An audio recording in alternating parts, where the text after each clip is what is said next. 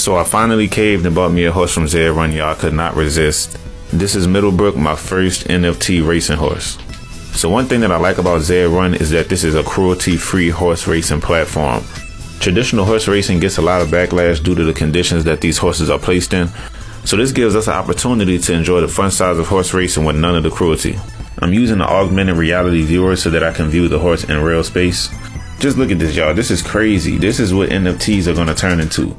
I race this horse and I can make money when it wins.